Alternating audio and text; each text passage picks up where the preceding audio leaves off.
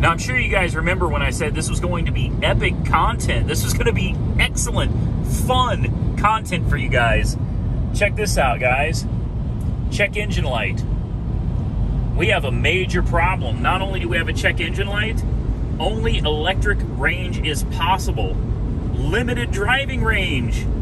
The REx, the range extender, is not functioning. I don't know if it's because it's below freezing. I don't know what the deal is, but what I do know is we have 45 miles of electric range, and I have 120 miles to my next charging station. um, we're in trouble.